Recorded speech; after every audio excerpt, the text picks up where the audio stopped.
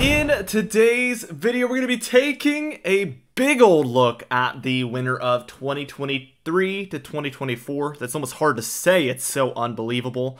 This might be the fifth year, fourth or fifth year that we've been doing direct weather, which is just so crazy to think about. Um, it has been a long, long time that this has been a part of my life, and I guess a lot of your lives as well. I'm so thankful for that. We're going to be talking about the potential temperatures and precipitation due to this El Nino that we see on screen. We have a strong El Nino that we anticipate this year, and that's going to dictate a lot of the hurricane season, the winter, the spring afterwards. We're going to just see um, a multitude of different impacts. But I want to tell you guys a little bit about my business, Trilogy Maps. All of the maps you're going to see today are used uh, with those trilogy maps. They're the most customizable, highest definition 16K maps. I mean, think about that 16K. That's unbelievable. And right now, we do have a 50% off deal going on on the entire store, and you can even use our discount code DIRECT for 33% more off on your order. So it's an absolutely killer deal. You're going to want to check that out today for these amazing, amazing maps. Now, let's get into things, and we're taking a look at this El Nino, like I said. And an El Nino is just warmer waters here along uh, the equator here, offshore of South America, right there. And mostly, uh, we're taking a look at two different regions, kind of the eastern-based and the western-based portions of this El Nino. This changes everything. Okay, if you see an eastern based El Nino, you expect different conditions than if you see a western based one. And right now it's a question mark. So I'm going to urge you to stay tuned with us as we talk about this through the year. We'll get a better idea of what to expect as far as a west based or east based and how intense that El Nino could be because that is all going to be a big time player in the upcoming weather pattern. Now, in a typical El Nino, this is the conditions you can expect during a during an El Nino, usually warmer and drier here across a lot of the Northwest, North Central, and even Ohio Valley here in the United States because we're not really getting a northern storm track coming through like we see oftentimes in a La Nina, which is the opposite. Uh, in an El Nino, most of this is coming through the southwest, as you can see, and then potentially up the east coast. So something that we're going to want to really pay attention to is the influx of southern sliders coming through. A lot of times the southeast sees snowier winters in El Ninos than La Ninas because of these southern sliders that are very common. Not only that, nor'easters. We're going to need to watch for big time storms moving up the east coast here during El Ninos. El Ninos overall are better for the east coast and southeast as far as seeing snowfall inland areas like the Ohio Valley, like I mentioned, the north central United States, they usually have slower, less snowy winters in El Ninos, as well as the Northwest. Now, let's talk about what I expect this upcoming winter. Uh, overall, we're going to just take a look first off at the temperature pattern here, and we expect warmer conditions out west. Okay. Overall, especially in the Northwest here, things are going to look drier uh, and overall warmer.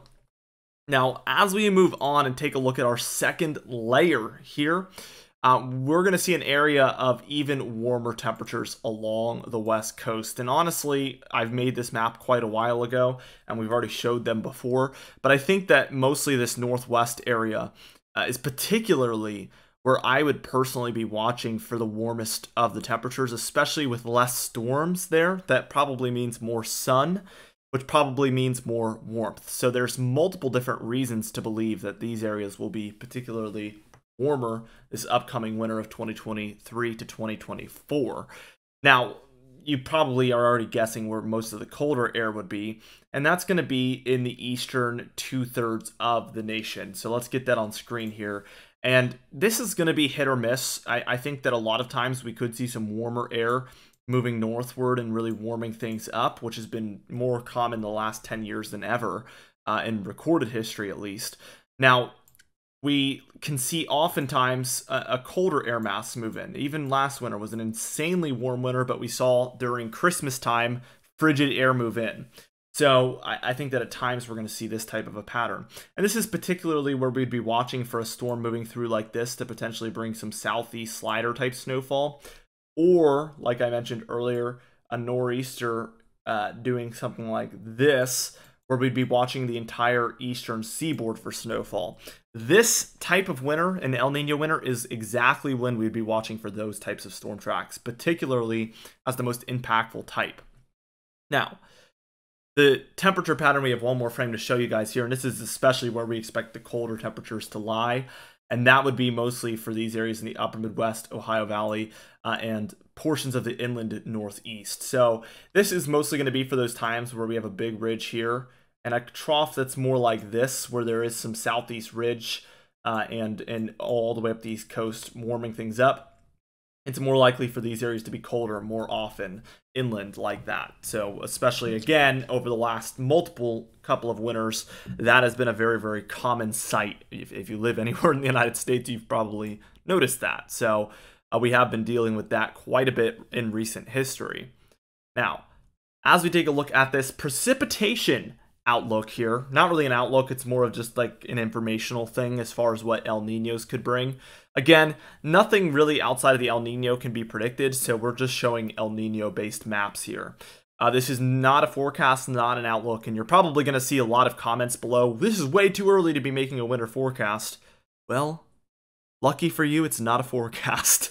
And the, those types of people are not watching this far into the video. So every, everybody be sure to uh, go let them know if you see those comments uh, that that they're completely wrong, uh, that this is not a forecast at all.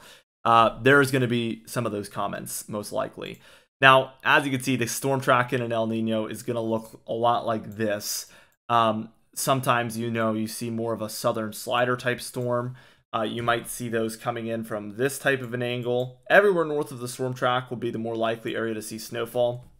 And again, all of these types of storms are just so much more likely in an El Nino winter like we're seeing. I think my favorite thing about the fact that we're seeing an El Nino is that California here is again likely to see an above average precipitation winter. And luckily, during our La Nina we had last year, which again is the opposite of an El Nino, they saw a lot of precipitation last year as well. And we're anticipating the same thing this year. Usually, a La Nina, you see less of that type of activity, but they saw it anyway. And if they can get back to back above average precipitation uh, winners, I, th- I think that'd be an excellent thing for the drought conditions there. If you do live in the West Coast, let us know how that drought has been. Uh, have has there been improvements recently? Because we have had some above average precipitation uh, and much less dryness for these areas. It's very very exciting and makes me very happy. Now, as we move on, we can see again more good news here. Uh, we expect particularly above average precipitation to be here for the southwest area, as usually in a La Nina, we see the storm track do this, go onshore of the northwest, and basically nothing goes into the southwest. In an El Nino, like we're seeing though, we see a lot of the storms move through like this, and they don't go up to the northwest, so we don't see any up there, and all of it moves into the southwest like this. That is why we expect so much above average precipitation. And that is one of the most common features in an El Nino there, that west coast storm impact being either north or southwest. That is the most highest confidence feature of an El Nino or La Nina, and the most prevalent difference, I would say.